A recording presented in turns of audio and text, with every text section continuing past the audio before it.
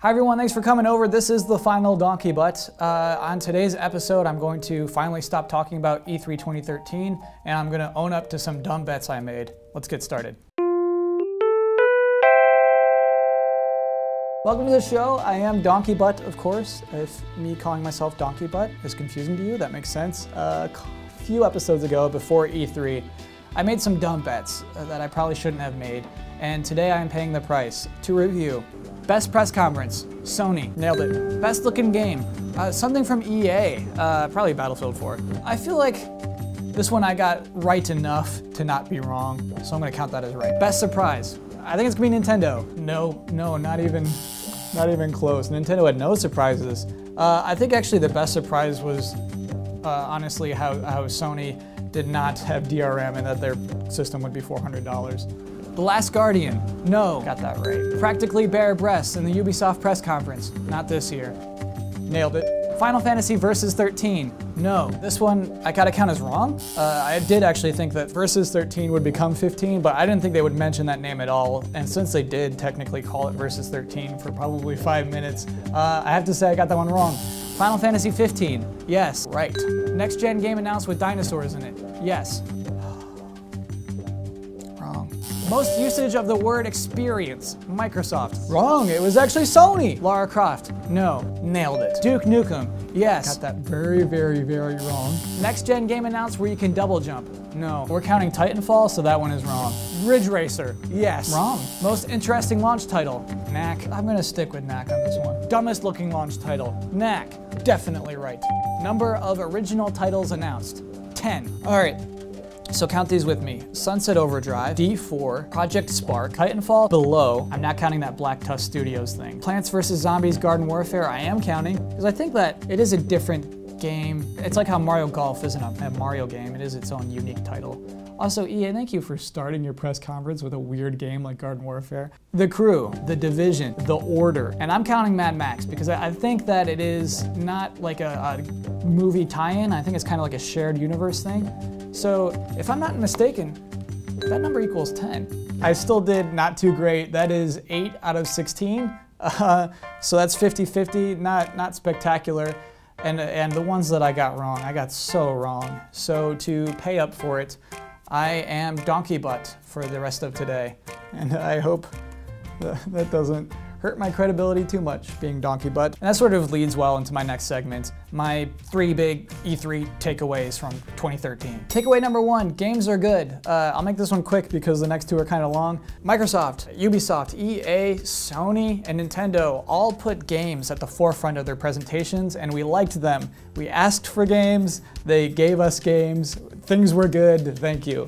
Takeaway number two, the Wii U will not have the best fall lineup of any next-gen console.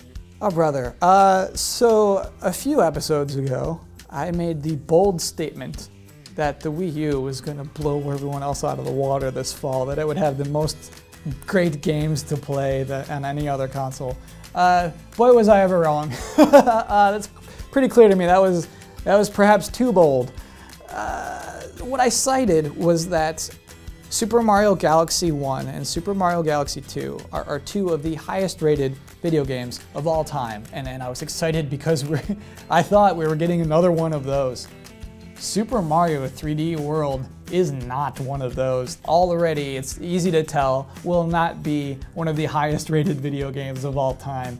Look at what we're allowed to do in this game. Nintendo, if you honestly can't see the difference, look at Mario Galaxy. Look at look at Mario 64. Look at this game that is 17 years old and what you're allowing us to do in that one. And then look at Super Mario 3D World. Mario Kart 8 I, I thought would also be around this fall. That was apparently a big dumb thing too. That is, it won't be around until spring of next year.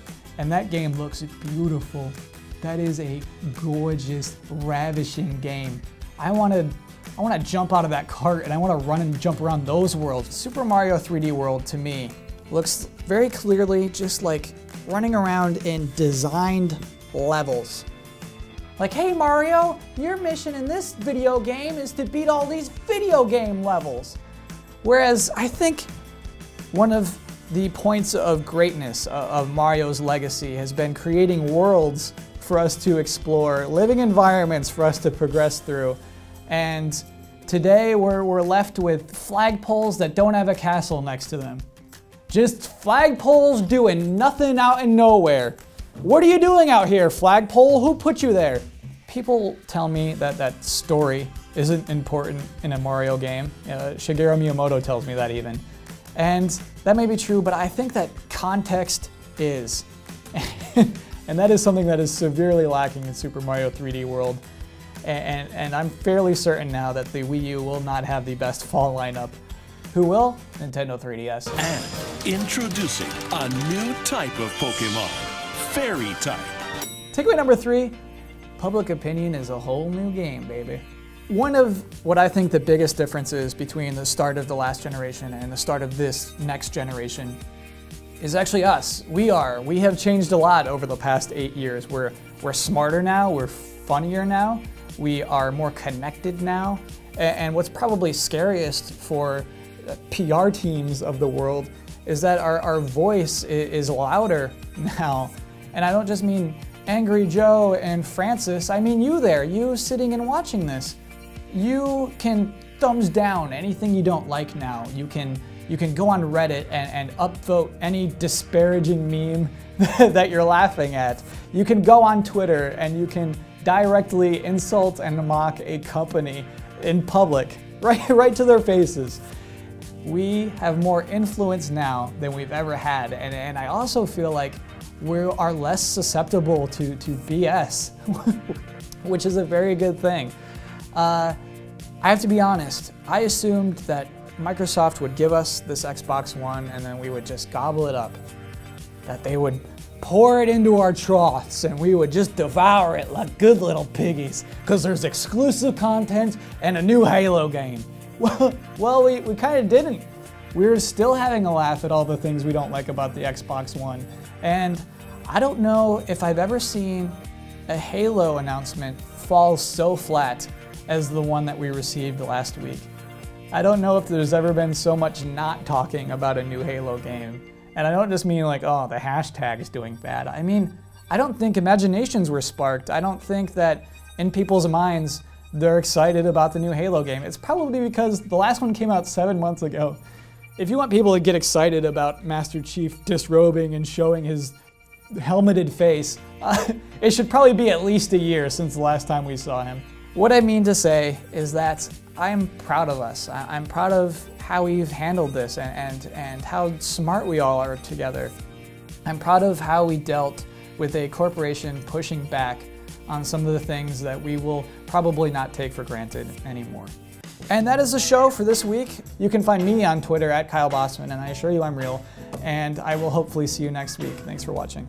See all of our shows and game reviews now on the brand new GT app on Xbox Live and the GT Originals iOS app too. Hi, uh, I'm here to deliver a new desk. Oh my goodness, it's here. Yeah, straight from the All Access stage. Oh, it's happening. I uh, just need you to sign right here.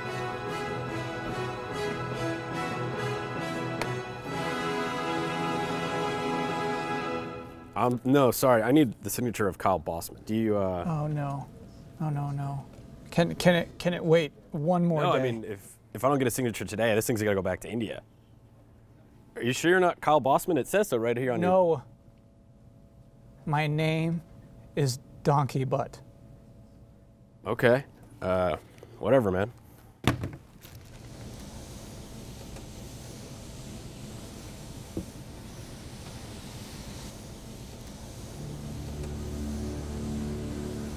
Whoa, whoa, whoa, whoa.